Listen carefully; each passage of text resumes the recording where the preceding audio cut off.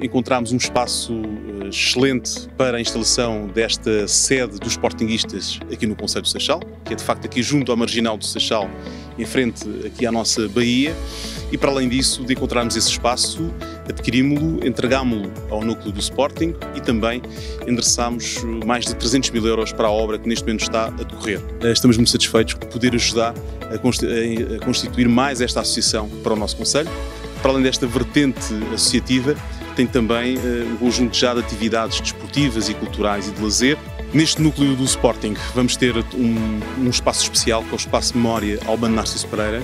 Albano Narciso Pereira foi um dos cinco violinos, foi um operário, atleta uh, do Sporting e da Seleção Nacional. O Seixal foi a sua casa, foi onde nasceu, foi onde cresceu, se fez homem, se fez jogador. Este núcleo vai também ter esse, esse espaço e esse símbolo do nosso Conselho que também desta forma homenageamos.